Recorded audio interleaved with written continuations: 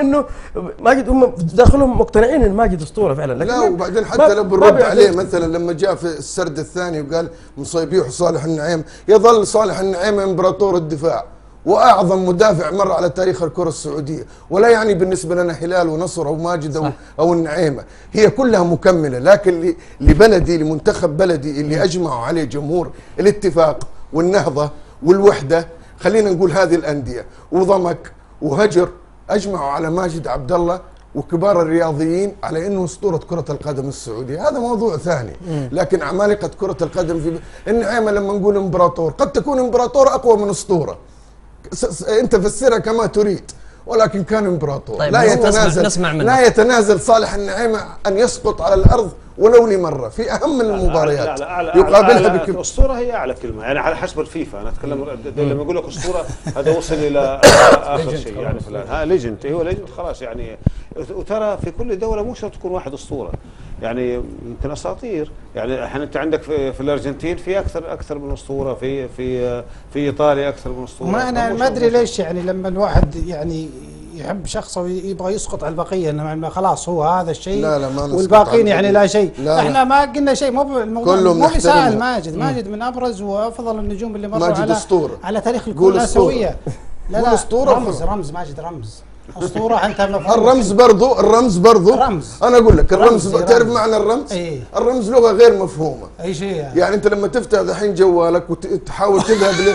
تروح للرموز لا، بس- الرموز هي علامة غير معروفة فواز فواز. رموز أنت- انت موجودة. بعد لا يمكن حتى تصاد الراية أنت عندك اسطور أنت عندك ماجد أسطورة عنده هو هو. هو هو يرى شيء ثاني أنا- زي زي بدر بدر أنا أنا عندي سؤال للكابتن فيصل لا بس أنا ما فهمت منه أنا ما بس فهمت منه. خليه يوصل لي أنا. بس أنا بس أنا ودي. سؤال على السريع من ترى هو أسطورة الكرة السعودية في رأيك الخاص طب أنا أنا سألتها الحين اسطوره أصلا أنا أنا ما أقول الأسطورة منو الأسطورة؟ الأسطورة أنا أقول لك اللي حقق كل شيء عشان أقدر أقول والله من هو في رأيك؟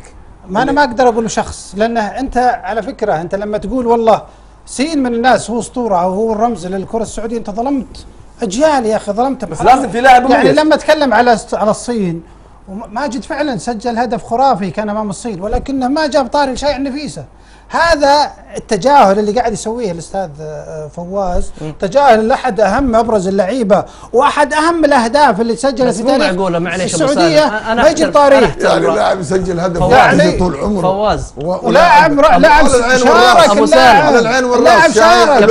قيمته مو ومكانته. معقولة مو معقولة. بس. أنت أنا أحترم رأيك. إيه؟ بس مو معقوله ان ما عندك ولا لاعب تعتبره هو رقم واحد. لا انت لا لا. انت أنت ابن الميدان أنت أنا- ابن اللعبة. أنا لما أقول لاعب رقم واحد معناه يلعب الحالة وهذا غلط. لا لا لا أنا أبغى على مدى التاريخ. في العالم شوف من اللاعب اللي تقول رقم واحد؟ مارادونا. مارادونا، ميسي. يعني ثلاث لعيبة أربع لعيبة. مارادونا بيليه ميسي يعني هذول اللعيبة اللي تقدر تقول طيب. إنهم هذول يلعب الحالة هذا هذول في الإطار هذا- في الإطار السؤال بشكل آخر طبعاً. على مستوى. كريستيانو؟ نعم على مستوى السعودية أفضل لاعب على مر التاريخ بعدد لك أسماء بعدد لك ال 20 اسم كلهم نجوم وكلهم برزوا مثل؟ وكلهم حققوا نتائج مثل ماجد عبد الله صالح النعيمة آه يوسف ثنيان أحمد جميل محمد الخليوي آه محمد دعيع آه يوسف ثنيان خالد مسعد معيس الجمعان آه عباد ذكرهم فهد سألتهم- يعني عدد لك اسامي هذول كلهم سألتهم وسألوهم الزملاء وشفنا لهم تصاريح كل اللي ذكرهم يقولوا أسطورة ماجد. أنت أسطورة على حسب أنت توجهك أنت. دول. سالوهم. الاعلاميين من الأسطورة مهدي مهدي ماجد. مزارقه مهدي مزارقة رئيس الوفد معنا الحين يتابع يقول هذا موضوع جدلي لا يمكن أن نوصل يمكن لنت- ننتهي. نتيجة ولا وعلى فكرة موضوع لا، ما راح ينتهي لو نسولف من بكرة لا، لا، الصباح شوف. ما راح مو كل مره نتعمد لا، نسمع يعني من لا الجدلي نحطسم ونقعد المتعارفة. مهدي على- صديقك ترى مهدي إيه بس هذه ثوابت ترى مو منها على فكرة.